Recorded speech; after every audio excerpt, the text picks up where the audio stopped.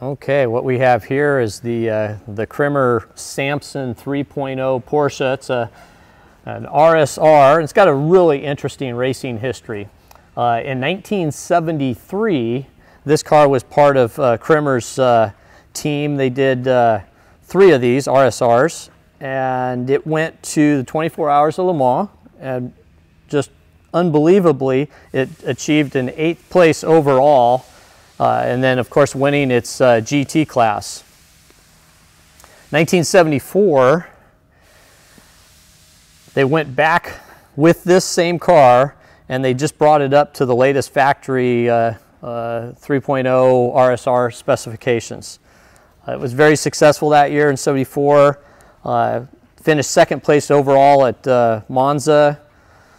Raced about 23 other races throughout the, I guess that was the European GT season.